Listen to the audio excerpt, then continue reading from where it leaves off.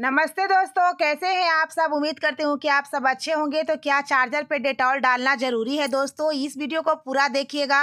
और दोस्तों, लेकर आ गए हैं आज बहुत ही काम का यूज़फुल टिप्स एंड ट्रिक जिसे देखकर आप लोग का काम होगा आसान और साथ में समय भी बचेगी। तो चलिए ना देरी करते हुए वीडियो को शुरू करते हैं। तो आज का मेरा फ़र्स्ट आइडिया है, वो है देखिए, इस तरीके से फ़र्स्ट आइडिया है दोस्तों शैम्पू को लेकर। देखिए शैम्पू यहाँ पे हम एक ले लिए हैं और बना रहे हैं। यहाँ पे एक हम सैलूसन तो देखिए शैम्पू को सुई धागा लेकर और इसमें एक हम डॉट बना रहे हैं ताकि इसे हम कहीं पर भी हैंग करके रख सकें। तो सुई धागा से देखिए दोस्तों छोटे सा डॉट लगा ले रहे हैं। देखिए ये मेरा बनकर हो गया रे, रेडी।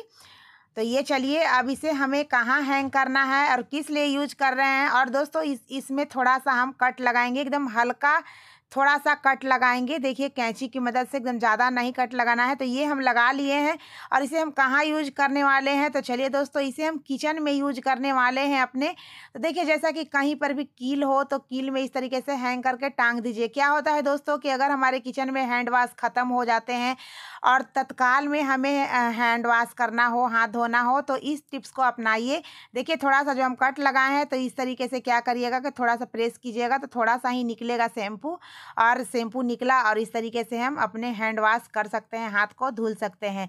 तो आई होप कि दोस्तों आइडिया जरा सा यूज़फुल लगा हो तो लाइक कीजिएगा, शेयर कीजिएगा।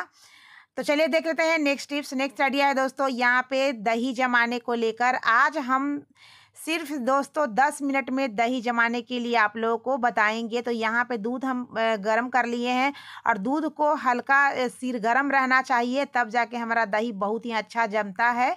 जमाने से ले दूध को गर्म करने से लेके जमाने तक हम प्रोसेस बता रहे हैं दोस्तों। तो देखिए यहाँ पे सिर गर्म था तो लोटे में हम पलट लिए हैं और इस तरीके से जोरन थोड़ा सा डाल दिए हैं। और जोरन डालने के बाद लोटा को हम एलमिनियम फॉइल से अच्छे से कवर कर देंगे। तो ये देखिए, इस तरीके से हम कवर कर दिए हैं ताकि हमारा लोटा में अच्छे से गर्माहट बना रहे और ये दस मिनट में तैयार हो जाएगा दोस्तों। और इसे क्या करना है कि देखिए, अब हम आटे में इसको गेहूँ के आटा जो हम लोग रोटी बनाते हैं, उसमें इस तरीके से रख देना है। इसको हम गाड़ के रख देंगे दस मिनट के लिए और इस पर ढक्कन देखिए चढ़ा देंगे। तो चलिए दोस्तों, बंद करके रख देते हैं। तो चलिए यहाँ पे अब हम दस मिनट के बाद आप लोगों को दिखाते हैं कि ये मेरा दही जमकर हो गया है, रेडी और बहुत ही अच्छा दही जमता है। दोस्तों, देख सकते हैं, एकदम थक्का जमता है और ढेला ढेला जैसा जमता है एकदम से। तो जो दोस्तों, कैसा लगा? यूज़फुल लगा हो? टिप्स एंड ट्रिक तो ज़रा सभी तो लाइक कीजिएगा, शेयर कीजिएगा।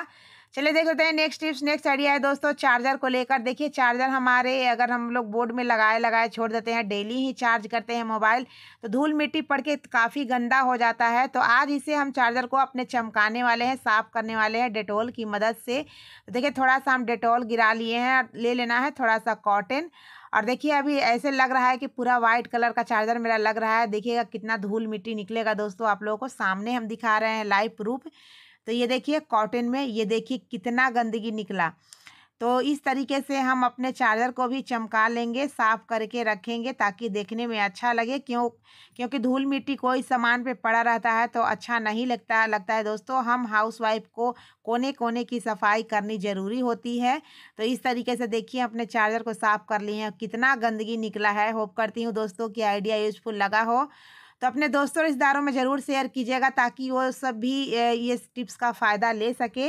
चलिए देख लेते हैं नेक्स्ट टिप्स नेक्स्ट आइडिया दोस्तों। इस तरीके से जब हम रोटी बना के सारी रोटियों को इस तरीके से कोई बर्तन में रखते हैं तो क्या होता है, नीचे वाला जो रोटी होता है दोस्तों, हमारे नीचे में रोटी जो होता है, वो फूल जाता है, भींग जाता है वाप से और एक दो रोटी हमारा ख़राब हो जाता है। तो ऐसा ना हो, यहाँ पे एक तरीका बताने वाले हैं कि जब भी रोटी बना रहे हैं तो रोटी बनाने से पहले जो बर्तन में हमें रखना है रोटी को उस बर्तन में क्या करना है दोस्तों कि यहाँ पे क्लोथ क्लिप ले लीजिए, जो हम लोग कपड़ा चाटने वाला चूटा होता है, ये इस तरीके से।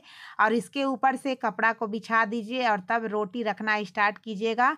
तो एक भी रोटी जैसा कि फूलेगा नहीं। कैसे नहीं फूलेगा दोस्तों? क्योंकि हमारी जो बर्तन में जो जिसमें रोटी रखे हैं, वो थोड़ा ऊंचाई पे कपड़ा है, इसलिए बर्तन में नीचे कपड़ा पहुँचा नहीं है यानी कि तो इसीलिए बर्तन में जब पहुँचता है ठेके रहता है तो वाप से पानी छूटता है और रोटी हमारा तो फुल तो आज का टिप्स एंड ट्रिक कैसा लगा? जरा सा यूजफुल लगा हो तो लाइक कीजिएगा लाइक करने के साथ शेयर कीजिएगा अपने दोस्तों रिश्तेदारों में और नहीं तो सब्सक्राइब करके सपोर्ट कीजिएगा दोस्तों ताकि इसी तरीके से मैं न्यू न्यू टिप्स वाली वीडियो लाती रहूँ। तो दोस्तों मिलते हैं नेक्स्ट वीडियो में तब तक के लिए बाय बाय हर हर महादेव।